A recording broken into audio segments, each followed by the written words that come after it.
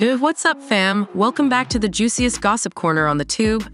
I'm your host, and boy, do I have some tea brewing for y'all today.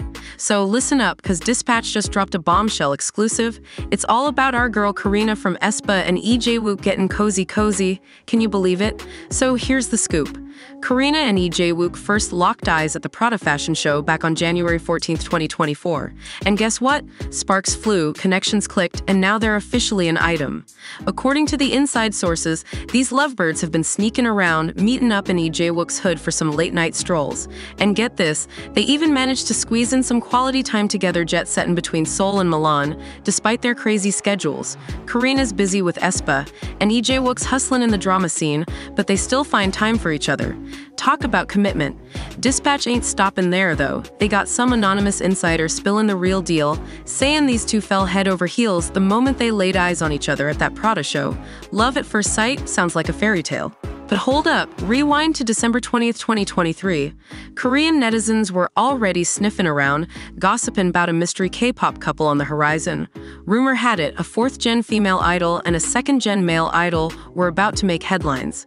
And guess what? The speculation was spot on. The grapevine was buzzing, spilling the deets that the mystery female idol was going to be from one of them super active K pop girl groups. Meanwhile, the male half of the equation used to be a big shot in the idol game back in the day. Now he's killing it as a top tier actor. Talk about a glow up.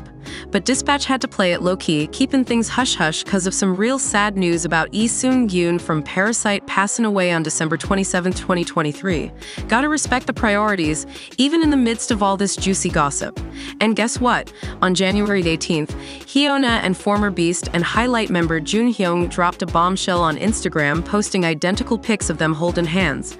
Talk about making a statement. Naturally, fans and the media went wild, connecting the dots and declaring Hyuna and Jun Hyung as the mystery idol couple everyone's been buzzing about. But oh boy, did things take a turn. Turns out, Jun Hyung's got some skeletons in his closet, with ties to the infamous Burning Sun scandal back in 2019. Cue the backlash from the community faster than you can say drama alert.